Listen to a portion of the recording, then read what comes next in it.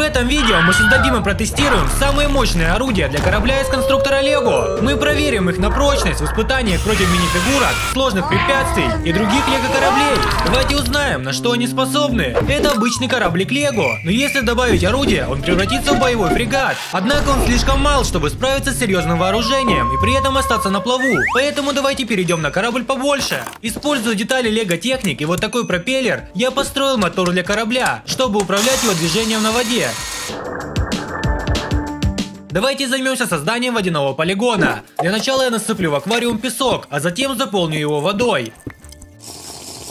Первое орудие будет очень простым. Корабль оснащенный моторизированным двигателем Лего. Он может мчаться вперед, используя свою скорость, чтобы опрокинуть все минифигурки, стоящие на берегу. Но когда минифигурки оказываются дальше вглубь берега, корабль застревает в песке и не может двигаться дальше. Поэтому нам нужно решение получше. Я решил совершенствовать корабль вращающимися пилами Лего, установленными на длинной балке на передней части. Но прежде чем мы установим орудие на корабль, нам нужно решить одну ключевую проблему. Если мы поставим на корабль что-то высокое и тяжелое, он скорее всего прокинется и утонет. Чтобы улучшить устойчивость и плавучесть корабля, я решил добавить вот эти детали из данного набора. Эти детали известны своей устойчивостью на воде и помогут сохранить равновесие корабля, гарантируя, что он сможет справиться с более тяжелыми конструкциями и останется на плаву во время испытаний. Я использовал цепной привод, чтобы заставить пилы вращаться от мотора Лего, и простой механизм с винтовыми шестернями для управления положения пил. Пилы, приводимые в движение Лего мотором, могут двигаться вверх и вниз, прорезая препятствия. Это станет серьезным улучшением, так как теперь корабль может поражать минифигурки, даже если они находятся на некотором расстоянии от воды.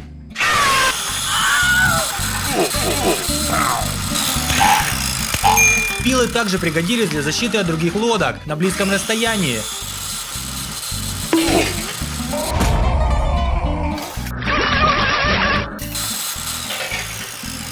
Но опять же, когда минифигурки оказываются еще дальше от берега, возникало ограничение. Это орудие не могло их достать. Чтобы увеличить радиус действия корабля, я попробовал новый подход. Использовать воду в качестве орудия. Построить водяной бластер из деталей Лего – задача безусловно сложная, но я постараюсь сделать это. Для накачивания и нагнетания воды я использую обычный медицинский шприц. Первым шагом была сборка привода, которая будет сжимать и разжимать шприц. После того, как шприц был встроен в механизм, я протестировал его, и он отлично заработал. Далее мне нужно было сконструировать систему для направления воды. Для этого я использовал сервомотор и пневматический переключатель Lego. Сервопривод позволяет мне управлять переключателем с помощью электроники. Для прицеливания я построил вращающуюся платформу, которая обеспечивает точное наведение на цель. После того, как все детали были соединены трубками, система была готова к установке на корабль. Чтобы протестировать водяной бластер, я поместил свободный конец трубки в воду. Привод начал разжимать шприц, втягивая воду. В данный момент переключатель установлен таким образом, что вода втягивается из резервуара.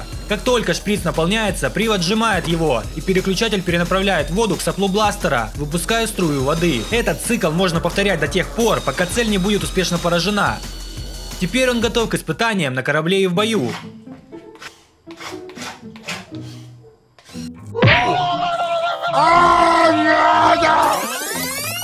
После нескольких тестов стало ясно, что хотя бластер недостаточно силен, чтобы поразить дальние минифигурки, он хорошо работает, чтобы топить другие лодки.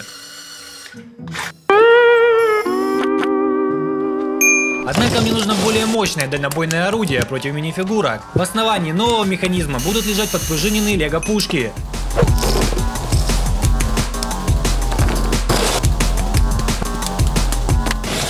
Чтобы автоматизировать и дистанционно запускать пушки, я создал механизм, который перемещает обойму из пушек вверх и вниз, оказывая давление на дротики и выстреливая их. Для прицеливания я сконструировал двухосевую платформу, позволяющую точно контролировать направление движения орудия. Когда механизм был готов, я установил его на корабль для тестирования. Во время первых испытаний минифигурки были успешно поражены, что доказывает, что система работает.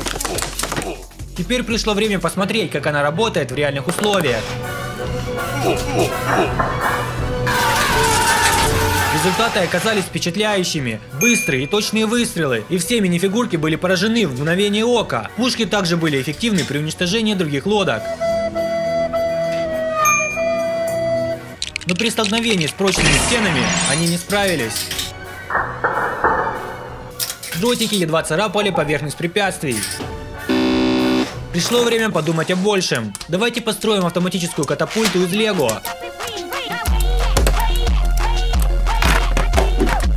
Для этого я использую храповый механизм, который соединен с катушкой ниток. Нить соединена с чашей катапульты. Сама катапульта заряжается с помощью резинки. Я прикрепил катапульту из лего к кораблю, и во время испытаний она доказала свою силу.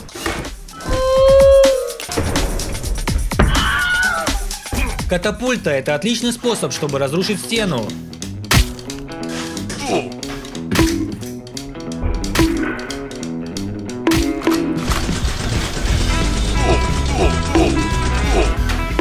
Катапульта легко пробила один слой стены, поразив стоящие за ней минифигурки. В следующем испытании мы посмотрим, как катапульта справится со 100 минифигурками. Для большей универсальности я экспериментировал с различными снарядами. Использование лего колес позволило мне добиться точных и мощных попаданий, а дроп из маленьких деталей лего наносит широкий урон, поражая сразу дюжину минифигурок.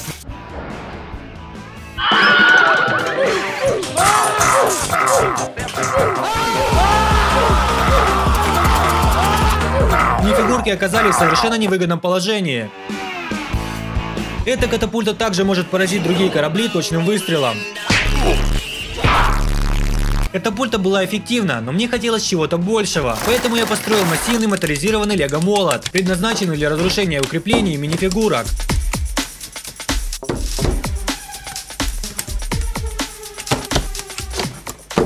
Чтобы опускать и поднимать большой лего молот, я использовал механизм, похожий на тот, что я использовал в катапульте, а также систему шкивов. Наша предыдущая платформа не могла справиться с таким большим и тяжелым орудием, поэтому я добавил немного усиления с помощью другого лего корабля. Давайте посмотрим на механику. Катушка вращается, натягивая нить и поднимая молот.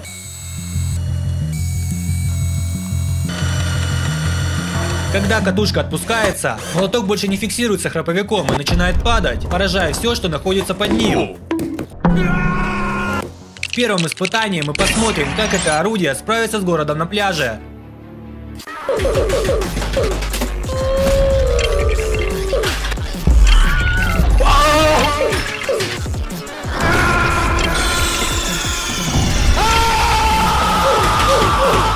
Молот разрушил лего-город на пляже и раздавил все стоящие рядом минифигурки. Конечно, поразить другой корабль для такого гиганта не составит труда.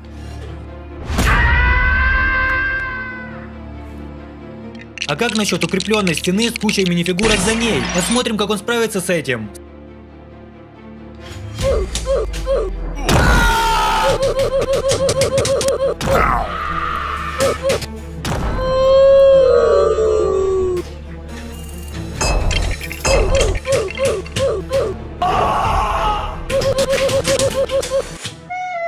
Столкнувшись со стеной, он быстро пробил ее насквозь, хотя некоторые минифигурки, стоящие дальше, остались невредимыми. Можно было их поразить, используя ранее сделанные катапульту и пушки. Но я решил сделать еще одно орудие. Гигантский вращающийся диск Лего. Я использовал ту же основу, что и у молота, но поменял местами верхнюю часть. Вращающийся диск выглядит внушительно. Минифигурки разлетаются во все стороны, когда он поражает их.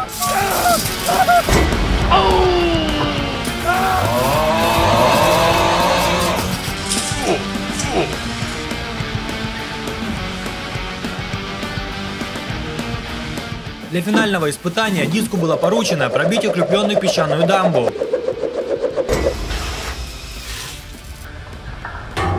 Диск не просто разрушил дамбу, он глубоко зарылся в песок, поразив все спрятавшиеся сзади минифигурки. Каждым улучшением мой лего-корабль становился все более опасным, способным справиться с самыми разными препятствиями. Но кто знает, что будет дальше, всегда есть место для новых идей и еще более мощного орудия. А какое орудие, по вашему мнению, было самым крутым в этом видео? Напишите об этом в комментариях. И обязательно подпишитесь на новые видео. Спасибо за просмотр и увидимся в следующем видео. Пока!